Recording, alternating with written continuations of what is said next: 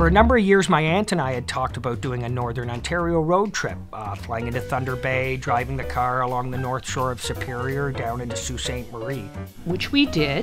I love flying from Billy Bishop Toronto City Airport. And we've spoken about this before, Linda and I, and I think just the convenience of Billy Bishop Airport made that trip feasible. Walked out of the airport terminal, we said our goodbyes, Linda and I. There's a shuttle that runs from Billy Bishop Airport over to Union Station, by the way. Soon to be electric. I walked off the shuttle, walked into Union Station, walked to the platform the GO train came in. I was home in Oshawa in an hour.